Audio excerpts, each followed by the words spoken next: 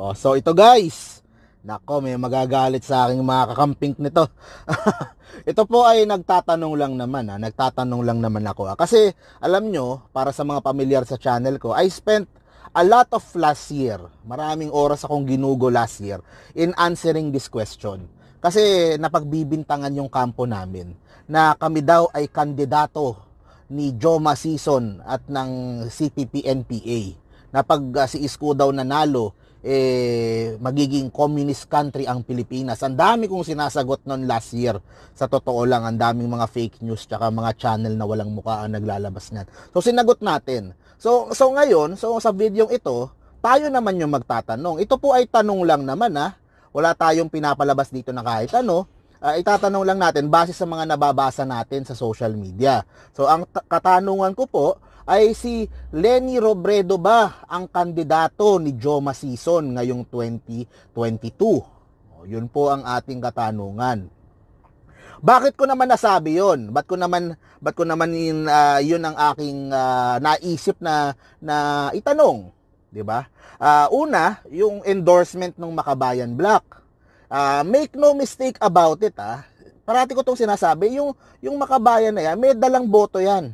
In fairness to them, nakakapagpalusot ng mga party list yan, ilang party list ang nakakalusot diyan, di ba? Ibig sabihin, may daladalang boto.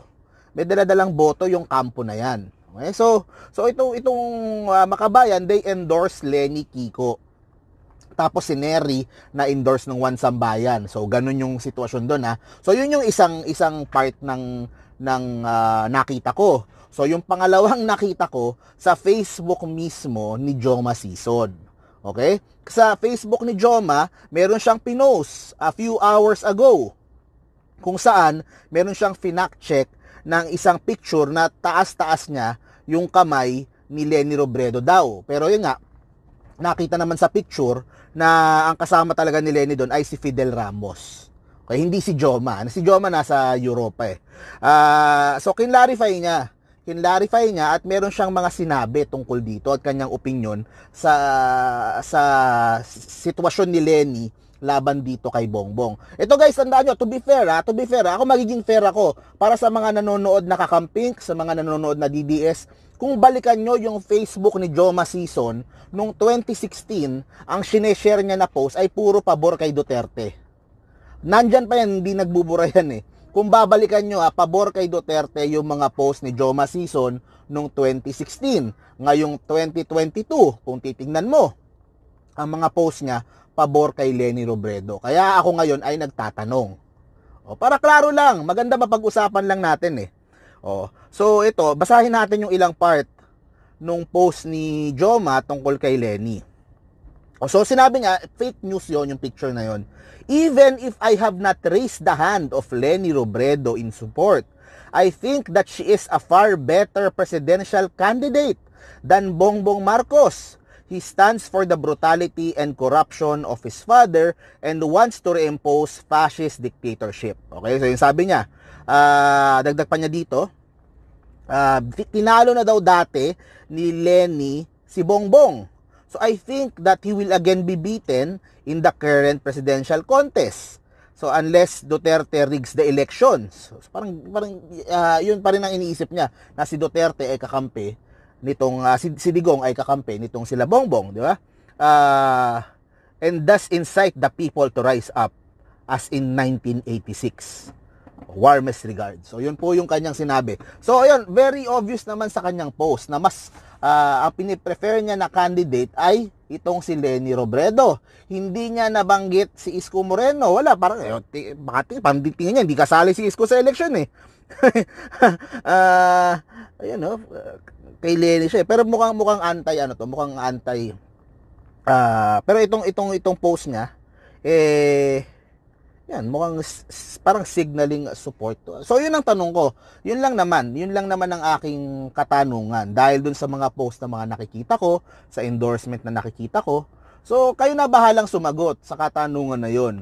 Na si Lenny Robredo ba ang kandidato ni Joma Season sa 2022? Oh, yun po ang katanungan po natin. What, kung ano, what does that mean? Ano ibig sabihin nun?